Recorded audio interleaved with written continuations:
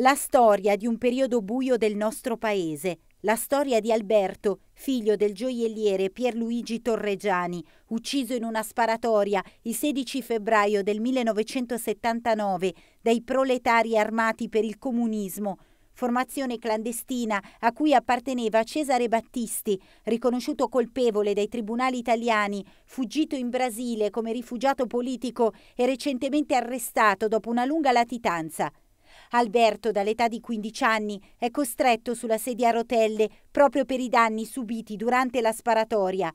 A 40 anni da quel giorno maledetto, decide di raccontarsi. Venerdì alle 21 sarà ospite a Solbiate Arno in biblioteca. Qui presenterà il suo libro Ero in guerra ma non lo sapevo. È una bella serata di condivisione, di ricordo, eh, avremo l'onore di ascoltare la testimonianza di Alberto Torregiani, è un nome che è tornato con prepotenza nella cronaca di tutti i giorni dopo l'arresto di Cesare Battisti, condivideremo la sua esperienza, eh, presenterà il suo libro che si chiama Ero in guerra non lo sapevo, penso che sia una bella serata non solo per i giovani solbiatesi che eh, hanno pochi ricordi di quel periodo buio degli anni di piombo, ma anche per tutta la comunità che invitiamo a partecipare assiduamente. La serata ingresso libero è organizzata dall'Associazione dei Giovani Solbiatesi 6 un'associazione non a scopo di lucro, nel nostro tempo libero ci piace organizzare eventi da quelli culturali a quelli sportivi ehm, con tutta la comunità solbiatese, oramai ci reputiamo una realtà solida perché sono quattro anni che siamo stabili sul territorio solbiatese, dopo aver fatto per tre anni consecutivi un festival musicale, abbiamo fatto per quattro anni di fila un torneo all'oratorio